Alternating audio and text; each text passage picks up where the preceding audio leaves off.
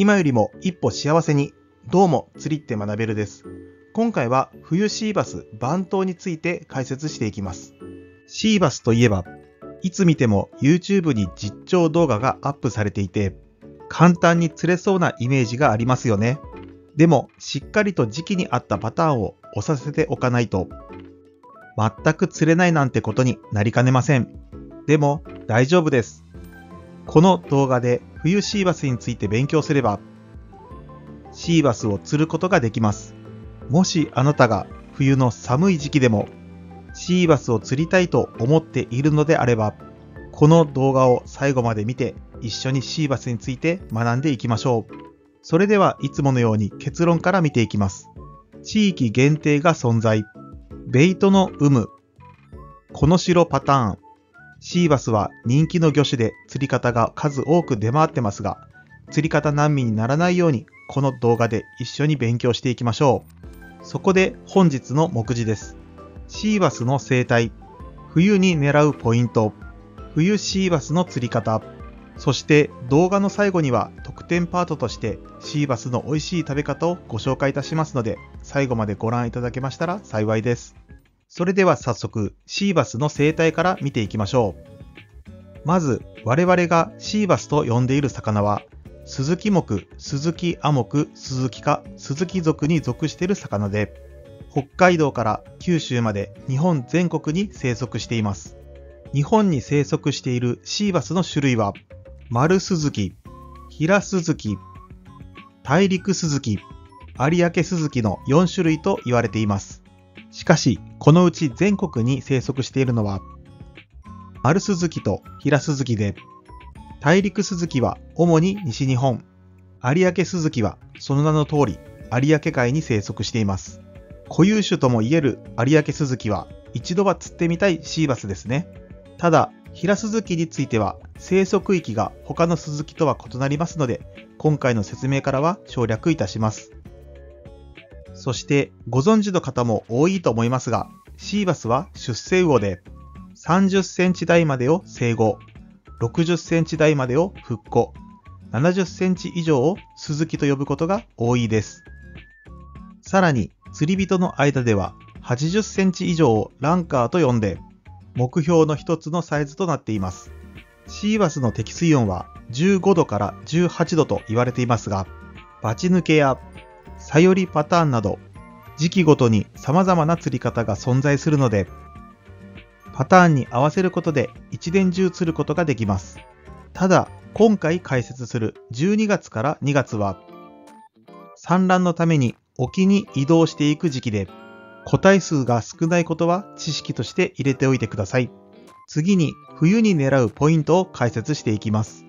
ここでも基本的には少しでも暖かい水域を選んでください。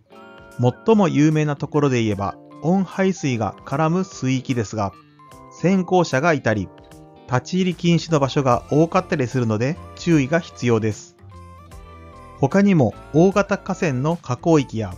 10メートル以上の水深がある場所はおすすめです。とはいうものの、結局のところ、ベイトの有無が最も重要となってきます。ここまで説明してきて、ベイト次第という結論はちょっと悲しいですが、これも皆さんに釣ってもらうためなので仕方ありません。そこで冬のベイトパターンを説明すると、12月、さより、この城、1月、この城、2月、この城、網、バチが一般的で、このベイト情報を釣り具店や SNS などで収集することが重要です。最後に冬シーバスの釣り方を説明します。先ほど冬の各月のベイトについて説明しましたが、今回は日中のこの城についたシーバスをバイブレーションで狙うパターンをおすすめします。おすすめする理由としては、回遊性なので釣りやすい、活性が高い、ボイルしていることも多く、シーバスの位置を把握しやすい、日中なので自分自身も動きやすいことが挙げられます。そしてこの時期のこの城は30センチほどになるため、それを捕食しているシーバスも必然的に大型になるというわけです。ですから、ビッグベイトを用いた釣りも可能ですが、初話からは扱いが難しく、確実に釣ってもらいたいと思っていますので、ここではバイブレーションをお勧めします。さて、釣り方としては、ベイトが表層に見られる場合は、基本的に表層をゆっくりただ巻きするだけで大丈夫です。表層にベイトが見られないといった場合は、ボトムから50センチ程度までを丁寧にトレースしてみてください。その際にボトムを離れすぎたなと思ったら、再度ボトムを取り直してください。そうすることで、この城だけではなく、ハゼやカニを意識しているシーバスにもコンタクトすることができるので、より釣れる可能性が高くなるでしょう。ここまでのシーバスの生態や釣り方については、シーバス攻略法でも詳しく解説していますので、ぜひご覧ください。それでは簡単にまとめます。まず、我々がシーバスと呼んでいる魚は4種類存在し、有明スズキは一度は釣ってみたいシーバスです。シーバスはベイトに合わせた様々な釣り方が存在しているため、一年中釣ることができます。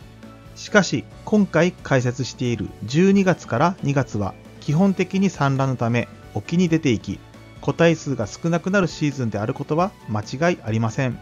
そこで今回は12月から2月にベイトとなるこの城についたシーバスを狙うことで大型のシーバスを釣り上げる方法を解説しました。そしてこの動画を見て冬のシーバスを釣り上げてくれる人が出てくれたら嬉しいです。それでは特典パートに入ります。ここではシーバスの美味しい食べ方を2つご紹介いたします。まず1つ目はシーバスのポワレです。ポイントとしては皮目から火を通してカリッと焼いて、身はさっと弱火で焼くことです。ちなみに味付けはクレイソルトが簡単でおすすめです。そして2つ目はシーバスのアクアパッツァです。コツは煮詰める際にシーバスにもしっかりと煮汁をかけ続けることです。そうすることで旨味がどんどん引き出されます。個人的にシーバスは火を入れることで何倍も美味しくなる魚だと思っていますので、ぜひお試しください。他にもおすすめの食べ方があるよという方はコメント欄で教えてください。釣りって学べるにはディスコードを使った釣りコミュニティ釣りシティがございます。ありがたいことに530名を超える方に参加していただけるほどになりました。さらにディスコードでは釣りだけでなく料理やタックルなど様々な情報交換の場として活用していただいています。登録は概要欄の登録方法と招待リンクをクリックして説明の通りに操作していくだけなので簡単です。もちろん費用はかかりませんからあなたも住人となって様々な情報を共有してみてはいかがですか？最後までご視聴ありがとうございました。高評価やチャンネル登録をしていただけるととても嬉しいです。また次回の動画でお会いしましょう。